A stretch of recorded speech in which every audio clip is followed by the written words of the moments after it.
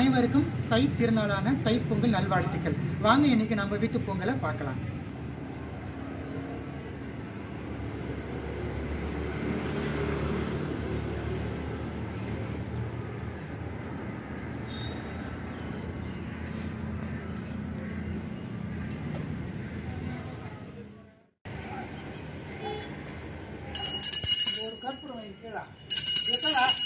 பொங்க பானையை நம்ம இப்போ அடுப்பில் வைக்க போகிறோம் அதுக்காக வேண்டி ஃபஸ்ட்டு நம்ம என்ன பண்ணுறோம்னா பிள்ளையாருக்காக வழிபடுத்திட்டு நம்ம இப்போ பிள்ளையார் வழிபாடு முடிஞ்சது நம்ம பொங்க பானையெல்லாம் வறக்கி அடுப்பில் வைக்க போகிறோம்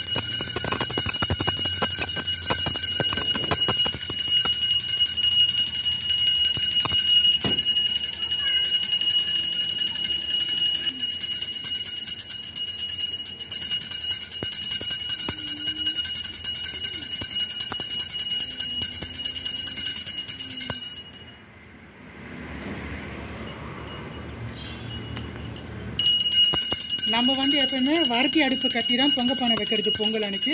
ஸோ வரட்டி அடுப்புக்கும் நம்ம வந்து நமஸ்காரம் பண்ணிட்டு பொங்க ஏற்றிடலாம்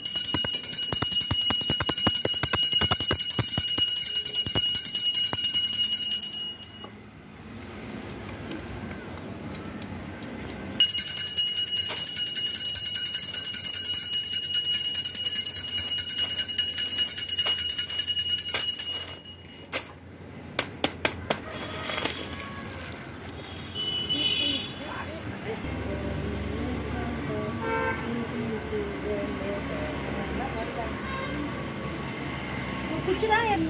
Tapi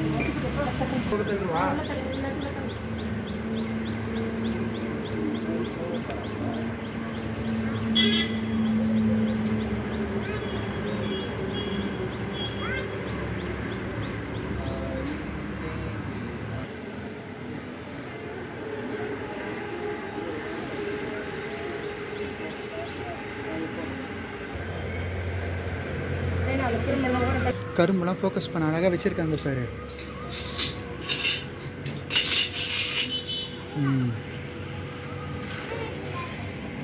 ஒரு ஜக்கு ஒன்று எடுத்துட்டு வாப்பா.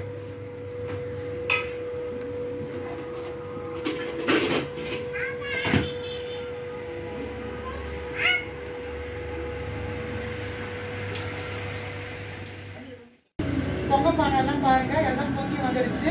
பொங்க பானை வரைக்கும் நம்ம பிள்ளையார்கிட்ட வச்சாச்சு.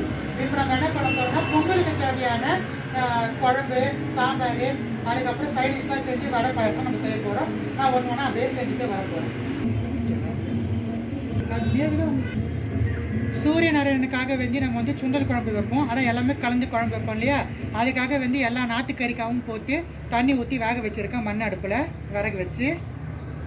இந்த பக்கம் வந்து பார்த்தீங்கன்னா நம்ம பொங்க பானை வச்சோம் இல்லையா? அந்த வரட்டி அடுப்புலேயே பார்த்தீங்கன்னா சுண்டல் குழம்புக்கு தேவையாக சுண்டல் வேக வச்சுருக்கேன் அந்த பக்கம் வந்து கிழங்கு வேக போட்டிருக்கு. உருளைக்கிழங்கு நம்ம வரட்டுறதுக்காக வேண்டி. பொங்கலுக்கு தேவையான காய்கறிலாம் இப்போ அம்மா வந்து பார்த்தீங்கன்னா எல்லாத்தையும் அரிஞ்சிட்டு இருக்காங்க இப்போ ஒன்று ஒன்று எல்லாத்தையும் செய்ய ஆரம்பிக்க போகிறோம்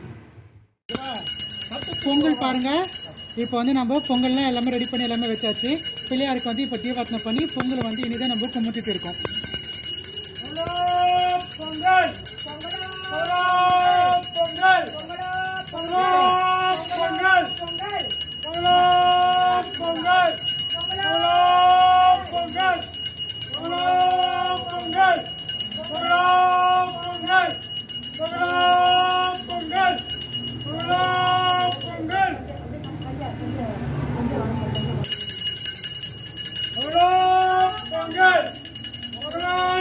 பாருங்க சூரியன் வழிபாடு பண்ணிட்டு இருக்கோம் சூரியனை வழிபாட்டிடுமே பொங்கல் வந்து நம்மளுக்கு நிறைவடையுது. மீண்டும் அனைவருக்கும் இனிய தை திருநாள் நல்வாழ்த்துக்கள். இதுதான் எங்க வீட்டுடைய பொங்கலுடைய வழிமுறை.